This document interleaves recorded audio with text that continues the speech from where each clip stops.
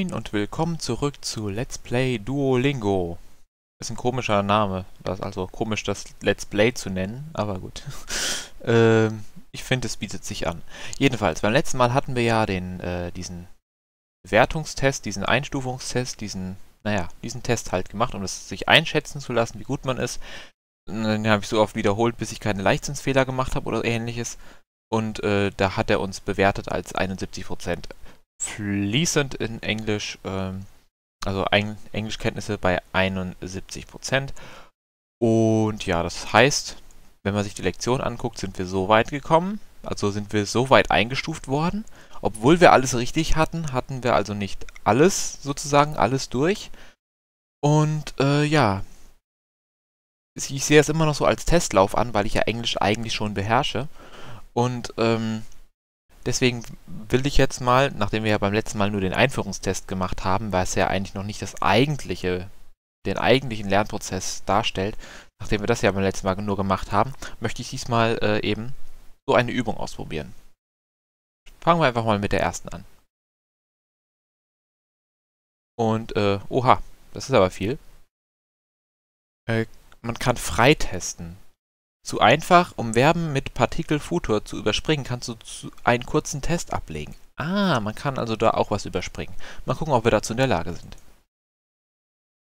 I'm going to sleep. I'm going to sleep. Ähm, ich werde schlafen? Okay. Sie wird Salz hinzufügen. She is going, hoppala, going to add salt. Äh, alle richtigen Übersetzungen markieren. Ich werde eine Mutter sein. I will be a mother. I'm going to be a grandmother. I will become a name. Ernsthaft? Moment. So, genau so kann ich das auswählen. Einfach mit der 1 tippen. Ich werde eine Mutter sein, I will be a mother. I'm going to be a grandmother, I will become a name. Das eine komplett andere Sache. Warum sollte ich das auswählen? He is going to swim today. He is going to swim today. I am going to walk to the castle. Ich werde zum äh, zum Schloss oder zur Burg. Nehmen wir die Burg. Ich werde zur Burg gehen. Ich werde zur Burg gehen. So, ach, hier werden auch äh, Schloss nehmen können. We are going to discover the problem. We are going to to discover the the problem oder was? We are going to discover the problem. Jo. We are going to discover the problem. Tomorrow we are going to go to my sister's house. Tomorrow we are going to go to going to go to my sister's sister's house.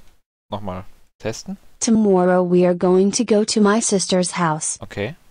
War richtig, alles klar. I am going to tell you everything. Ich werde dir alles erzählen. Werde dir hoppala, alles erzählen. Alle richtige, alle richtige Übersetzungen markieren. Ja, ja, alle richtige Übersetzungen, schon klar. Äh, ich werde die Türen nicht zumachen. I'm not going to shut uh, that wallet. That I'm not I'm not going to close the door. I will, I will please close the door. Das, warum sollte ich denn aus Versehen auf, aufgrund von Nichtwissen ein, eine andere Sache äh, wählen? ist doch offensichtlich, dass es komplett andere Sachen sind. Also nicht nur mal ähnliche Sachen oder so. Naja, gut. Ich werde die Tür nicht zumachen. I'm not going to close the door. We are going to finish eating. Wir werden wir werden to finish eating. Wir werden aufhören zu essen. Wir werden aufhören zu essen. Werd. Ach so, jetzt nicht einfach nur aufhören, sondern stimmt, ja, wenn man Finish ist ja zu Ende bringen. Ah, ja, ja, ja, ja. Ich verstehe schon. I am going to open the letter. Äh, ich werde den Brief öffnen. Hoffentlich hat es eine Toleran Toleranz, sodass dass, dass man trotzdem durchkommt, wenn man. Na gut, da ist ja, ja, man hat ja drei Leben. Von daher hoffe ich, dass das auch so, so funktioniert, dass wir auch wir uns wirklich drei Fehler erlauben können, ohne dass das irgendwelche Konsequenzen hat. Wir werden dein Haus sehen. We are going to see your house. I am going to wait five more minutes. I am going to wait five more minutes. Is he going to help us? Wird er uns helfen? Sie wird mich vergessen. She, she is uh, going to forget, forget about me, about me. Sie wird mich vergessen. Jo. Oder einfach nur forget me, alles klar. I am going to define it. Okay, ich werde es definieren, oder was? Ich werde es definieren. You are going to break the window. Ähm, du wirst das Fenster beschädigen? Zerschlagen, kaputt machen. Mäh. Müsste das nicht okay sein? Was sagt die Satzdiskussion? Das, das würde mich gerade interessieren. Kaputt machen ist eher Umgangssprache. Zerbrechen ist in der Tat besser. Äh, das Fenster brechen. Äh, zerbrechen. Hm. Ja gut, da geht's überall um Brechen. Ja, ja, gut. Gut, ich verstehe das schon. Ja, ja, ist okay. They are going to continue walking. They are going to continue going. Ähm, They are going to continue walking. ach, walking, ja klar. Wie kam ich jetzt auf einmal auf going? Wahrscheinlich going to going. Ja, going to continue going. Das wäre witzig. Äh, ja. Sie werden weiterlaufen. It is going to Wort auswählen on Saturday. Kann ich das mit der Tastatur machen? Ich weiß jetzt gerade nicht wie. Ach, hier. Drei Wörter haben wir zu auswählen. Es ist going to rain on Saturday. So. Ähm. Ja. They are going to offer their house. Okay. Sie werden ihr Haus anbieten. Sie werden ihr Haus anbieten. Und das war's. Mal gucken, was passiert. Lektion abgeschlossen. Das heißt, sind wir jetzt damit durch? Okay, anscheinend. Also das, das war dann, wurde akzeptiert, dadurch, dass wir nicht alle Leben aufgebraucht haben. Und wir haben was gewonnen. Wir haben zwei Lingots verdient. Oder Lingots. Ja, wahrscheinlich wegen Ing, Ingot, Lingot. Ja, Wortspiel und so.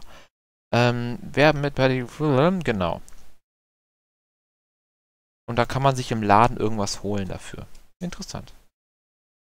Äh, jetzt kommen wir mal kurz durch. Wir können auch, genau, ich kann noch mit der Tastatur scrollen. Fällt mir auf. Habe ich noch nie gemacht, also, oder hast noch nie so richtig gemacht.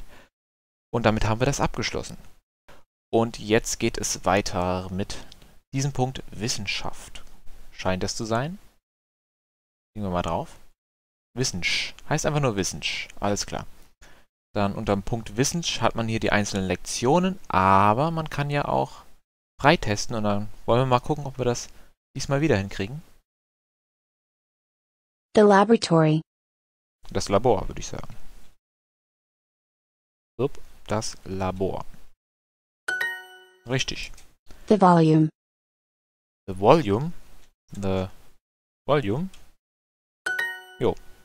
The unit. The unit. I have lost the formula.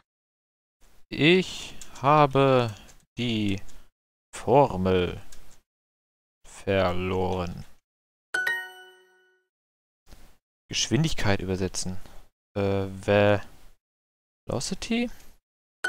Ah, okay. The depth. The depth. The depth. Die Tiefe. Die Tiefe. The addition. The addition. The addition. The addition. Addition oder Addition? Mit E oder mit A?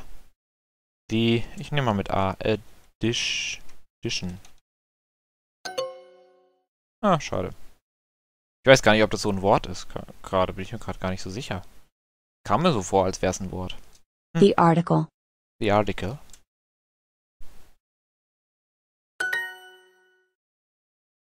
Kann man nochmal zurückgehen? Sieht nicht so aus.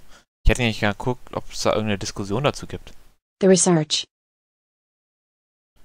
The Research. Ah, ja, klar. Re the Research. The speed. Äh, ah, The Speed. Wahrscheinlich hätten wir das auch. Wäre der Wunsch gewesen, das mit Speed zu übersetzen, statt mit Velocity. Ah, gut. Äh, the Speed. Die Geschwindigkeit. Moment. Ohne Vertipper bitte. Geschwindigkeit. Limit übersetzen. Äh, Grenze, oder? Ernsthaft? Ich soll das mit dem genau demselben Wort übersetzen? The distance. Die Entfernung. The technique. Die Technik. Die Technik, die Technik, die Technik, Technik, Technik, Technik, Technik. The physics. Die Physik, The length. die Länge. Das sind ja eigentlich nur Vokabeln, ne? The technology. Die Technologie. Formel übersetzen. Das ist sogar ein Bild von der Formula One. Interessant. The geography. Die Geografie. Ist die Frage, will das mit F oder mit PH haben? Ich versuch's mal mit F. Okay. Die Grenze. Da, die Grenze. Äh, the limit. Oder the border. Ich nehme mal mit the limit. The limit, the border. Was hatte der denn vorhin? Habe ich mich etwa vertippt oder was? Das ist meine Philosophie. Uh, this is my philosophy. So, haben wir es wieder geschafft, oder wie? Sieht so aus zumindest. Glaube schon.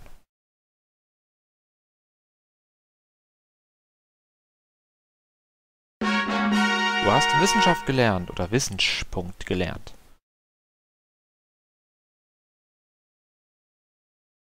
Du hast zwei Lingots verdient. Schön. Und damit hätten wir wieder etwas abgeschlossen.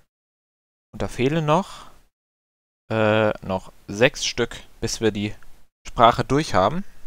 Bin mal gespannt, wie, äh, wie, ob das noch irgendwie schwierig wird, weil bisher hatte ich ja eigentlich alles, war alles einfach, alles keine Probleme.